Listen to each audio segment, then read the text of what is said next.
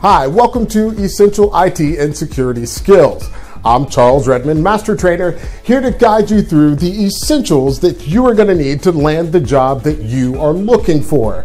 Uh, in this series, we're going to talk about essential PC skills. I'm going to walk you through everything from software to hardware. Most people know me as a cybersecurity expert. Well, I couldn't have gotten there without learning the basics first.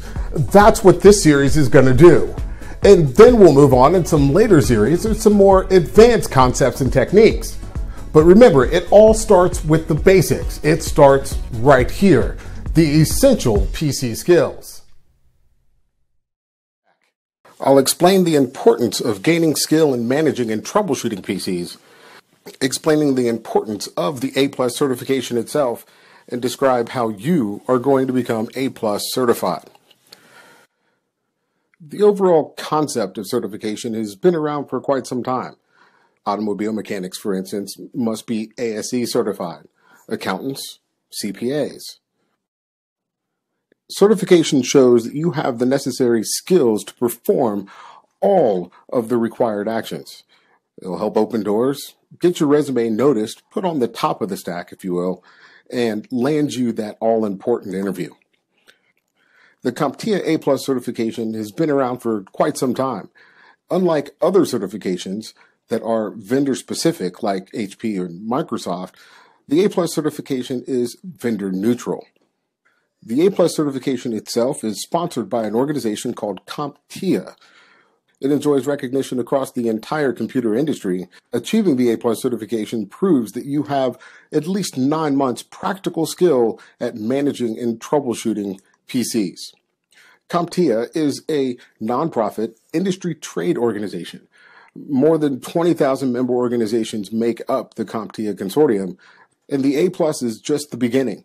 CompTIA offers a wide range of IT certifications like the Network Plus and Security Plus and many, many more. For more information on the other IT certifications CompTIA offers, go to CompTIA.org. To become a CompTIA A plus certified PC technician, you must pass two computer-based multiple choice exams. The 220-801 and the 220-802. It's important to remember that CompTIA no longer offers a lifetime certification like in years past. You must retake the exam every three years or earn CEUs or continuing education units.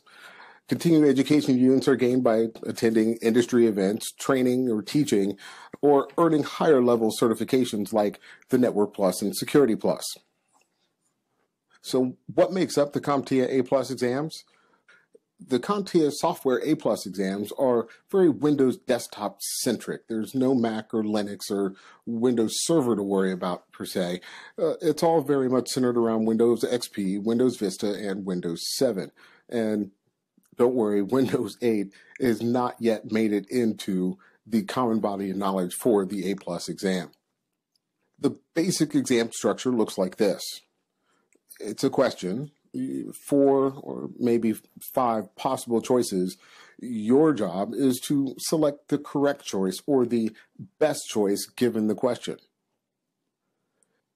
The 22801 exam is centered around hardware broken out into five domains, including PC hardware, networking, laptops, printers, and operational procedures.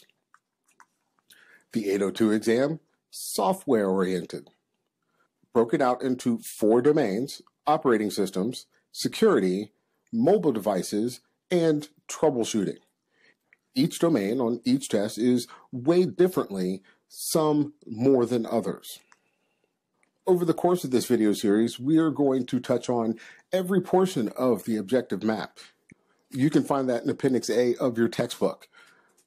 It's important that you read the textbook to get a full understanding of the material that is covered in the A plus examinations. The 801 and 802 different depths and focus, whether it's to identify, install, and configure, or to maintain and troubleshoot. The A Plus certification examination is offered at either the Prometric or the Pearson VUE testing sites. Here's the information to contact them when you're ready to successfully navigate the A Plus certification exams. Now, most importantly, how are you going to pass the exam? First of all, set a date.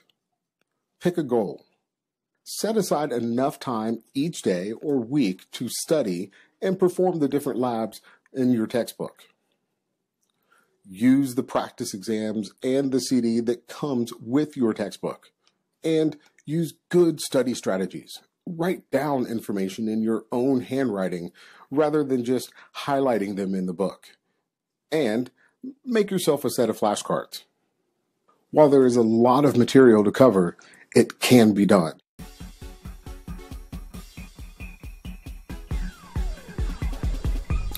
There you have it. It's pretty simple. Remember, everything starts with the basics. Once you have these understood, everything gets a whole lot easier. If you have any questions or even just a comment, feel free to leave them below, and I do read each and every one of them. I'll see you next time.